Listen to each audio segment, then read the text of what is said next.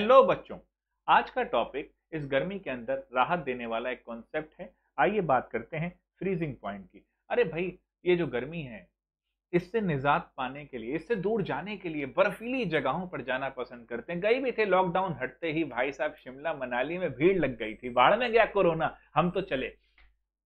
हाँ ये इस बर्फ़ का आनंद लेते हैं थोड़ा सा और समझते हैं, लेकिन एक समस्या है। अगर बर्फ़ पड़ रही है स्नोफॉल हो रहा है और ज़्यादा हो जाए रास्ते जाम हो जाएँगे, समस्या हो जाएगी। अब उस, भाई, बर्फ़ जम जाएगी, निकलोगे कैसे?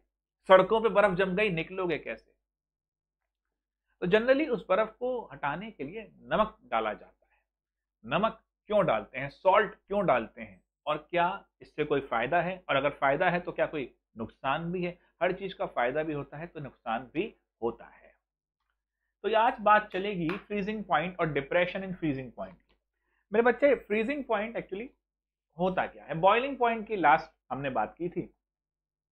एलिवेशन इन बॉइलिंग पॉइंट की हमने ज़िक्र किया था।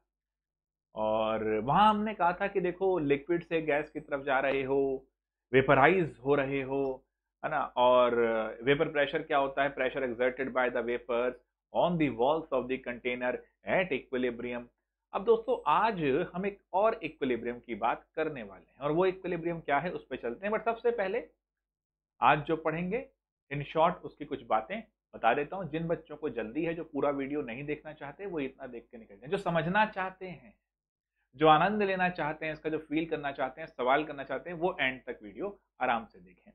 बाकी बालक जो है, मुद्दे से इस पे आ जाए।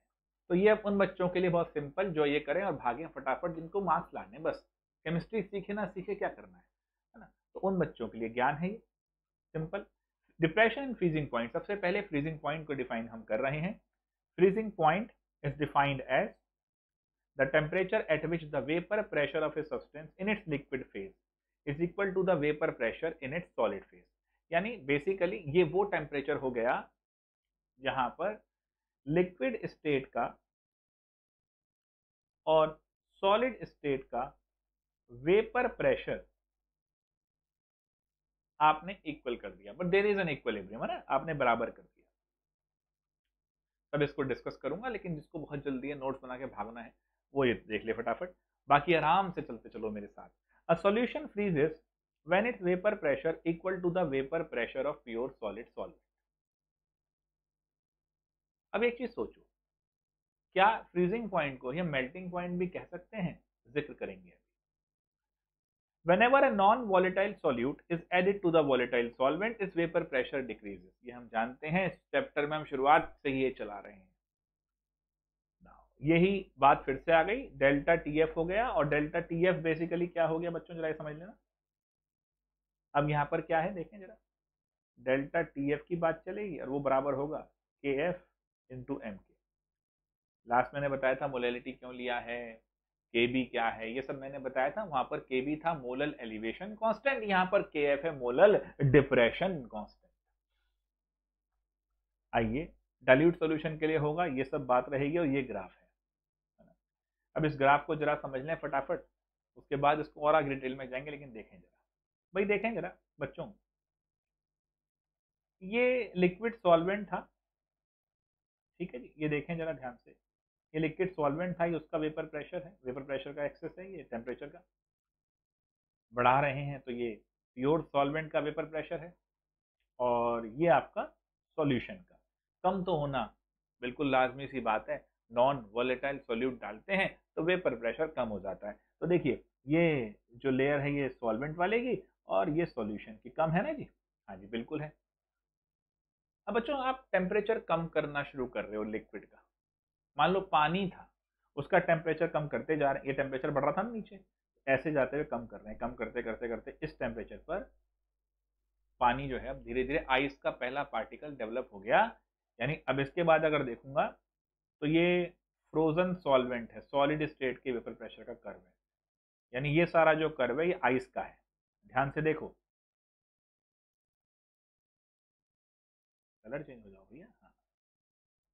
ये जो था, ये लिक्विड पोर्शन का था सॉल्वेंट के। इस पॉइंट से आइस बनना शुरू हुआ और ये सारा अब आइस का है है ना? तो अब एक चीज़ ध्यान से देखो, ये जो बनना शुरू हुआ, ये जो टेम्परेचर है, यहाँ से पानी जो था बर्फ़ बनना शुरू हो गया और अब ये सारा बर्फ़ का वेपर प्रेशर चल रहा है।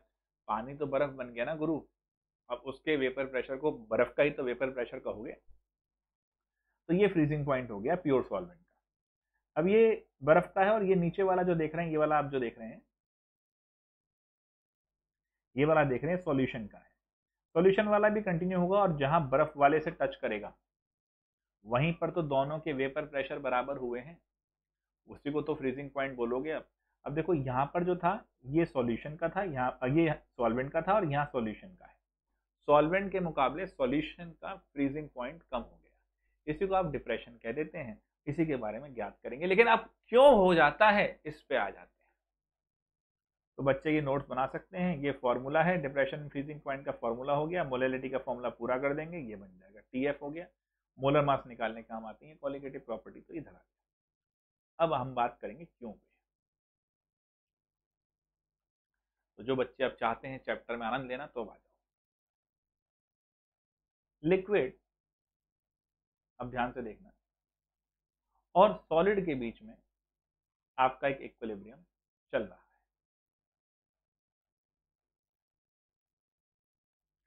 फ्रीजिंग पॉइंट जैसा मैंने बता भी दिया,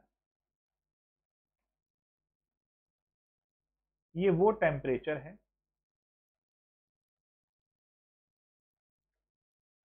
जहाँ vapour pressure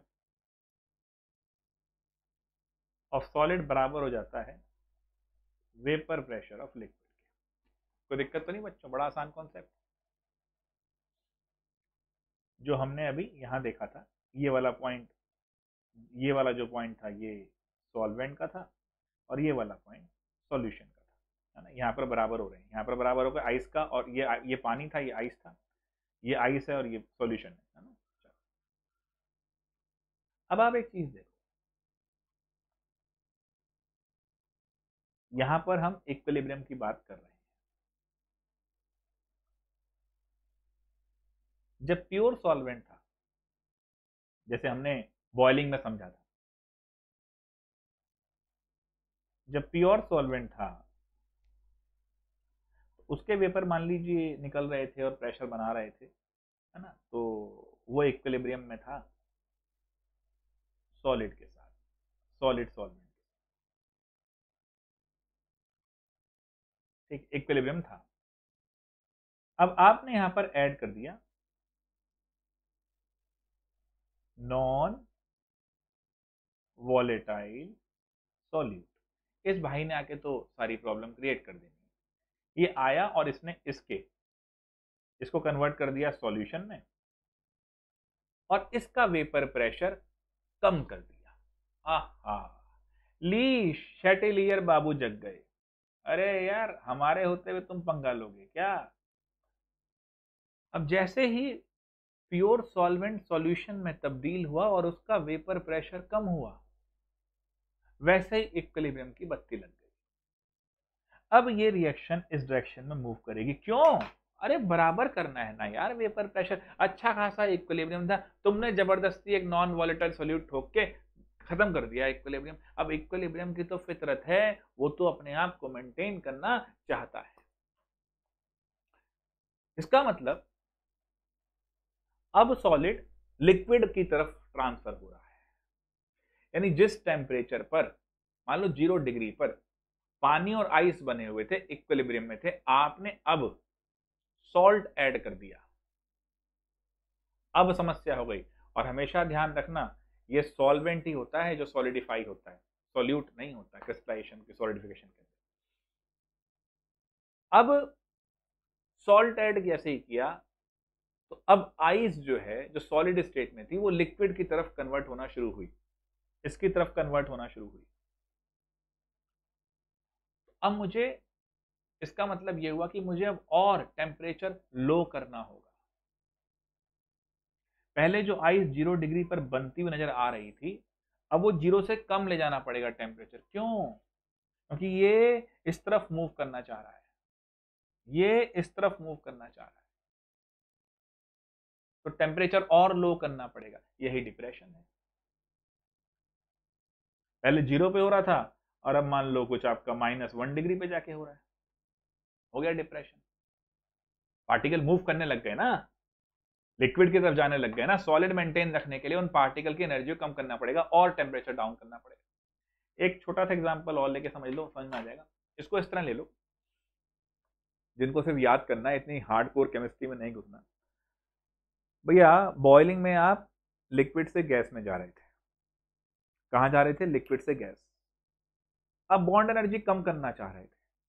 but non volatile तो बॉन्ड एनर्जी बढ़ाता है। निकलना मुश्किल करता है। तो we need to supply more heat solid में आप उल्टा कर रहे हैं। तो उसको एलिवेशन कह दो, उसको डिप्रेशन कह दो, कहानी खत्म। ऐसे याद कर लो। क्योंकि फॉर्मूले दोनों सही हैं। लेकिन ये केमिस्ट्री थी जो मैंने बताया।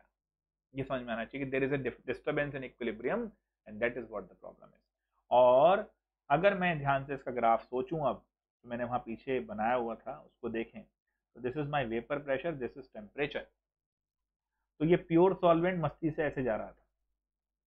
आप कहेंगे, सर, यहाँ से क्यों नहीं आया? अरे, कुछ तो थ्रेश वैल्यू भी लेके चलोगे ना भाई टेम्परेचर के अंदर, ये थोड़ी करते ही उड़ गया, है ना?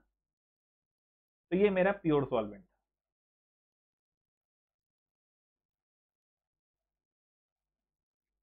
अब इससे कमी होगा सॉल्यूशन का तो ये सॉल्यूशन का था। अब किसी एक पॉइंट पे ये वाटर से आइस बनना शुरू हुआ। देखो ये सॉलिड था ना बेटा टेम्परेचर बढ़ाते हुए सॉलिड के वेपर आने शुरू हुए और यहाँ पर ये सारा सॉलिड ही था, है ना? यहाँ पर इस टेम्परेचर पर ये सॉलिड लिक्विड में कन्वर्ट हुआ है। इसे मैं क्या बोल सकता हूँ? मेल्टिंग पॉइंट यानी ये ट्रांजिशन पॉइंट है। इस पे सॉलिड लिक्विड में कन्वर्ट हुआ। इसी पे इससे नीचे जाऊँगा तो लिक्विड सॉलिड में कन्वर्ट हो जाएगा। यानी तब ये फ्रीजिंग पॉइंट कहलाएगा। देखने का नज़रिया है, किस हिसाब से देख रहे हो? शादी हो रही है। लड़की वाले की तरफ़ से हो तो घराती कहे जाओगे, लड़के वाले की तरफ़ से हो तो बराती कहे जाओगे। सॉलिड की तरफ़ से देखोगे तो मेल्टिंग पॉइंट कह दोगे इसको और लिक्विड की तरफ़ से देखोगे तो फ्रीजिंग पॉइंट कह दोगे बात पल्ले पड़ गई। लेकिन बेचारा सॉल्यूशन जो था क्योंकि अब ये सब, ये ये सब आइस का वेपर प्रेशर है। इसके बराबर तो आना पड़ेगा ना सॉल्यूशन को भी। तो ये ऐसे एक्सटेंड करते हुए इस पॉइंट पे आया तो ध्यान से देखो, पहले जो फ्रीजिंग पॉइंट था वो ये था। तो this is my T one initial freezing point and this is my T two final freezing point now, when we have to find out the depression and freezing point value हमेशा positive लेनी है। तो T one minus T two होगा। वहाँ मैंने T two minus T one करवाया था। And that will be directly proportional to molality again because ratio से बेटर अब कंसंट्रेशन के टर्म की बात करो। मोल फ्रैक्शन हो गया मोलैलिटी हो गया ये दो चीज़ हैं जो टेम्परेचर पे डिपेंड नहीं करती क्योंकि वॉल्यूम नहीं है इनके अंदर। तो भैया इन्हीं को यूज़ कर सकते हो बिकॉज़ टेम्परेचर वेरी कर रहे हो। और दूसरा मोल फ्रैक्शन बात करता है फ्रैक्शन फ्रैक्शन मीन्स परसेंटेज वो नहीं चाहिए प्रॉपर कंसंट्रेशन इससे आती है जो एक आ, हमें बता रहा है कि इस सेगमेंट में मोल पर किलोग्राम में क्या है। अब इसको डेल्टा टी एफ़ कह दो। इसे खोल लो, ये के एफ़ कह लो, ये एम कह लो तो ये मोलल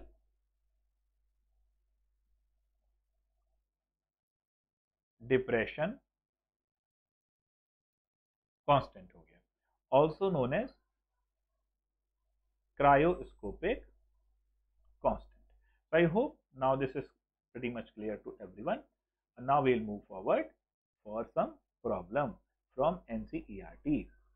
Depression freezing point आएगा ये वही ग्राफ है बेटा। And this is the delta T F अरे भैया नोट तो नहीं होता है। ये डेल्टा टी एफ़ नमस्ते। अच्छा जी। Dilute solution directly proportional to molality है, ये भी सबको पता है, ये क्रायोस्कोपिक होगा। एक चीज़ ध्यान रखना, अब आनंद आएगा ये के एफ़ और के बी के वैल्यू हैं। ये डेल्टा एच मतलब एंथैल्पी ऑफ़ वेपराइजेशन ये एंथैल्पी ऑफ़ फ्यूजन फ्यूजन आ रहा है, देखो, वही पॉइंट है। उसी को मेल्टिंग कह रहा हूँ, उसी को फ्रीजिंग कह रहा हूँ। ठीक है, ये ध्यान रखना, ये दोनों फॉर्मूले आपको चाहिए। सवाल तो हलवे होते हैं इसमें बिल्कुल ही। 45 ग्राम of ethylene glycol is mix with this much of यानी ए दे दिया तुम्हें बी दे दिया तुम्हें, यानी गिवन मास ऑफ़ सोल्यूट है गिवन मास ऑफ़ सॉल्वेंट है। Freezing point depression and freezing point of the solution delta T F निकालना है के एफ़ डायरेक्ट का होता है पानी का 1.86 नहीं दिया हो तो आप यूज़ करेंगे इसको। और ये ध्यान रखना है, बाकी को देख कर ना देखो 1.86 के बी कितना था? बताया था लास्ट टाइम देखो ध्यान से। पॉइंट फाइव यहाँ पे डायरेक्ट का होगा, देखो ये। वेपर प्रेशर प्योर बेंजिन वाले आ गए, ये भी कराए थे। प्रैक्टिस कर रहे हो ना घर पे, नहीं तो बत्ती बुझ जाएगी भैया, नहीं करोगे तो। देखो point five sir point five two अरे यार पॉइंट फाइव लिख ले, कोई बात नहीं। वन पॉइंट एट सिक्स ये सॉल्व कर लोगे इसको डेल्टा टी एफ़ निकालना है और फिर टी टू निकालना है तो टी वन ज़ीरो डिग्री लेके ले लेंगे, है ना? ये भी हो जाएगा। तो next we will talk about फिर वही चीज़ है चार क्वालिटेटिव प्रॉपर्टी वाला दे रखा है इंटेक्स उसमें से आप तीसरी वाला क्वेश्चन भी कर लीजिए ऑस्मोटिक प्रेशर हम नेक्स्ट क्लास में करेंगे। आई होप यहाँ तक समझ में आ गया है। आ, लंबी क्लास के लिए कोई बच्चा कह नहीं रहा तो मैं ले भी नहीं रहा। सिंपल ठीक है? ऑल द वेरी बेस्ट यहाँ पर पूरा मैं ट्वेल्थ का सिलेबस कवर करूँगा। टॉपिक वाइज चलूँगा पूरा कवर करूँगा। सिलेबस अक्टूबर नवंबर तक पूरा होगा। ट्वेल्थ का आराम आराम से। और सॉल्यूशन के बाद अब इलेक्ट्रो शुरू होगा, उसके बाद काइनेटिक्स और then we move for organic chemistry कुछ और पढ़ना है, आप बता देना इलेवंथ के अंदर एटॉमिक स्ट्रक्चर चल रहा है, आप देखिए ना, ऊपर खुला हुआ ही है एटॉमिक स्ट्रक्चर एन तो वो वीडियो भी अपलोड कर रही है टीम आप कोई दिक्कत नहीं. ऐप के अंदर आपको इसके वर्कशीट्स मिल जाएँगे. ऑल द वेरी बेस्ट बच्चों, मिलते हैं आपसे नेक्स्ट